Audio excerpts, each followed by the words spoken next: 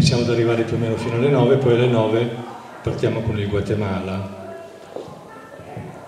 La serata sarà più o meno organizzata in questo modo, ci saranno dei filmati, ci saranno delle musiche, ci saranno delle letture che intermezzeranno le, eh, gli interventi. Allora, eh, prima di tutto volevo, visto che stiamo commemorando i 40 anni del colpo di Stato in, in Cile, poi abbiamo pensato di abbinare la commemorazione del colpo di Stato in Guatemala e poi tutti sapete, oltre a queste tragedie, la tragedia di oggi del, di Lampedusa, dei morti eh, di Lampedusa, eh, chiedere a voi di fare un minuto di silenzio.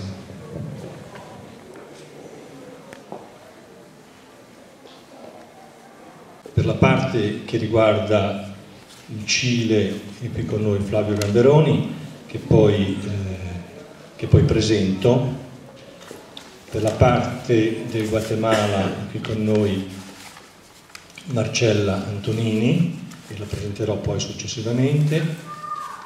Ci sono gli amici e i giornalisti eh, Fausto Bonoldi e Andrea Ganugi che sono qui, poi vedremo le modalità del vostro intervento. Più tardi, verso le 9, arriverà il presidente dell'ANPI Angelo Chiesa. Adesso quello che noi volevamo fare con Flavio, Flavio Gamberoni, figlio di partigiano che era cooperante in Cile proprio nel momento in cui c'è stato il colpo di Stato, infatti poi è stato espulso, eh.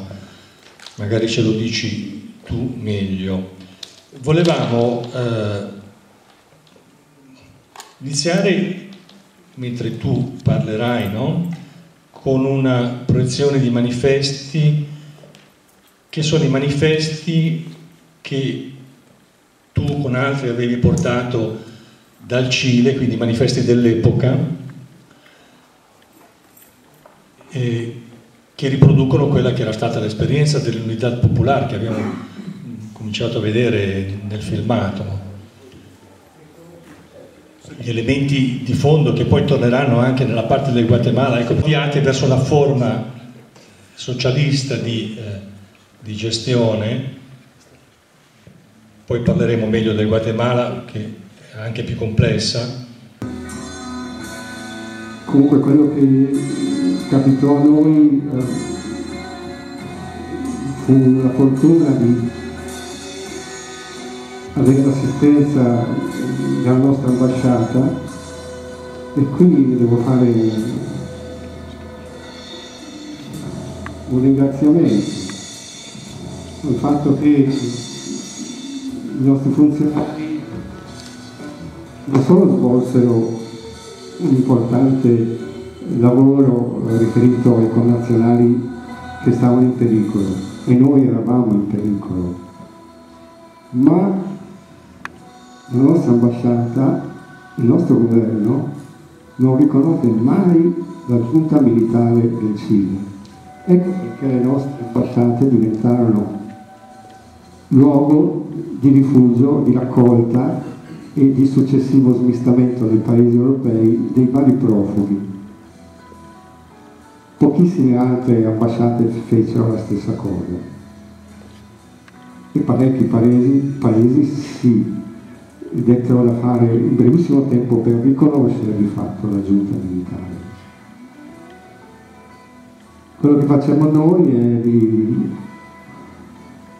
rientrare in Santiago, raccattare le nostre poche cose e col coprifuoco in atto, spostandoci da un albergo all'altro, riuscire ad arrivare a Valparaiso e lì imbarcarci sulla prima nave in partenza. E questa fu la fine del nostro soggiorno una fine obbligata, del nostro lavoro in Cile. Eravamo volontari di cooperazione tecnica. Questo significa che stavamo svolgendo quello che sarà poi chiamato servizio civile, con una piccola differenza che allora lo potevi fare solamente all'estero e doveva durare due anni. Quindi nel 71, con, con un'altra decina di ventenni, perché quella era la nostra età, partimmo alla volta del Cile. inseriti in due progetti, entrambi di insegnamento. La metà in Santiago e l'altra metà, la mia, in una scuola agricola. Dovevamo prendere le lastre calde del rame con le mani e depositarle sulla pala meccanica. Uscivano quasi ardenti pesavano come il mondo. E noi estenuati trasportavamo le lamine del minerale. A volte qualcuna ti cadeva sul piede e lo fracassava, o sulla mano e ti lasciava un moncherino. Vennero i gringos e dissero portatele più in fretta, andrete a casa prima vale la pena per andarcene prima accorciamo i tempi. Ma quelli insistettero. Ora lavorate meno, prenderete meno. E ci fu sciopero alla Casa Verde, dieci settimane di sciopero. E quando tornammo al lavoro bastò un pretesto dove hai i tuoi arnesi? Mi gettarono in mezzo alla strada. Guardi queste mani. Sono soltanto calli che mi ha prodotto il rame e, e, e mi senta il cuore. Non le sembra che, se, che mi sobbalza? Il rame te lo maciulla. E ora posso andare a stento da un posto all'altro, affamato, a chiedere lavoro e non lo trovo. Pare che mi vedano ricurvo, come se portassi dentro le foglie invisibili del rame che mi uccidono.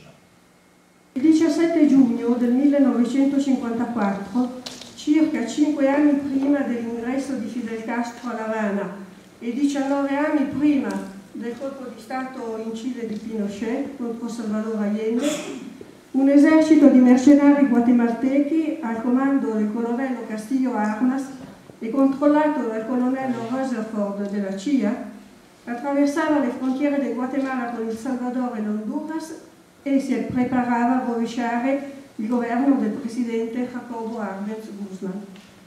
Questa invasione terrestre, programmata dalla CIA con il nome di codice PD Success, i documenti di questo, inter questo intervento sono stati declassificati, quindi oggi si conosce tutto sull'invasione del Guatemala.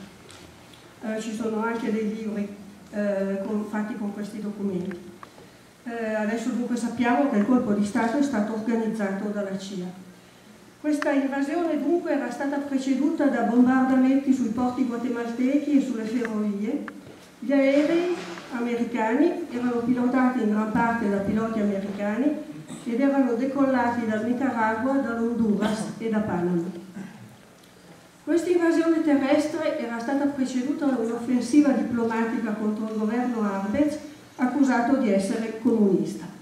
È il eh, segretario di Stato degli Stati Uniti di quel tempo, John Foster Dulles, che ha organizzato una riunione che eh, si è tenuta all'organizzazione degli Stati americani, che per schermo era stata definita al Ministero delle Colonie con riferimento agli Stati Uniti, e eh, questa riunione ha, ha, avuto una risoluzione adottata all'unanimità, meno un voto, che condannava dunque il governo Arbenz.